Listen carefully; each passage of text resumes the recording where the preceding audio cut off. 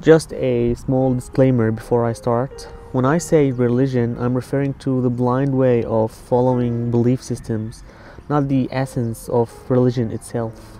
Music means celebration, acceptance, let go.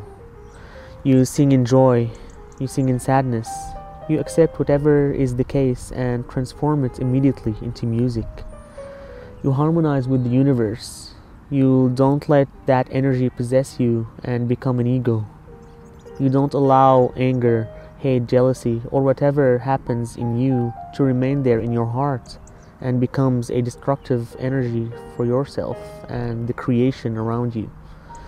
You immediately transform it to music. You celebrate it. You release your creative energy and transcend all dualities and prejudices. Musicians and artists overall should be more respected and revered than anybody else on the planet especially the so-called saints and their beneficiaries, the politicians. These two comprise a bunch of inferior and repressed persons who like to take revenge and release their destructive energies by controlling and manipulating others so they can attain power. I'm not saying all of them are like that, but most take that route for that purpose.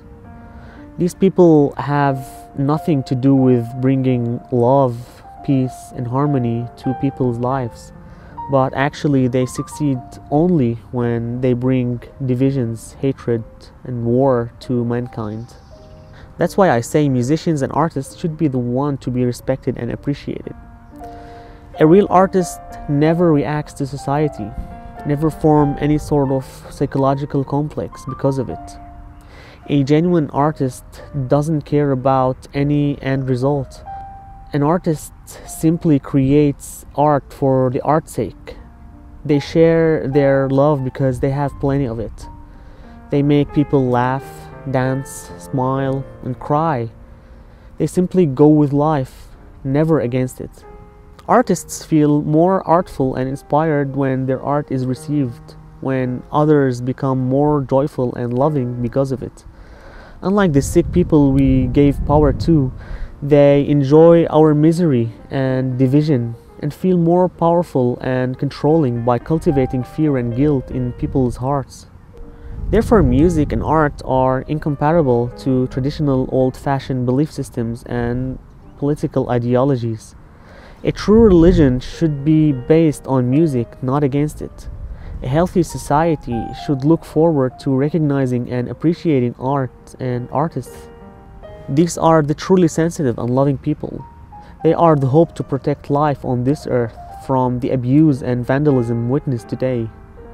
As humans, we are the only species who can dance, laugh, and celebrate. We are different from other animals because of our capabilities to observe the beauty and enjoy nature beyond the cycle of survival and reproduction. If you're growing and expanding, then being in love with life and enjoying nature, music, and art is an enough indication that you are growing upwards. But being concerned only with money, politics, and getting serious about life indicates that you are crippling yourself and getting stuck in a small comfort zone you've drawn around yourself. The ability to fall in love and appreciate creation requires you to obliterate all these boundaries drawn around you by society, belief systems, and politics. It's time to break the boundaries and enjoy life in its purity and virginity.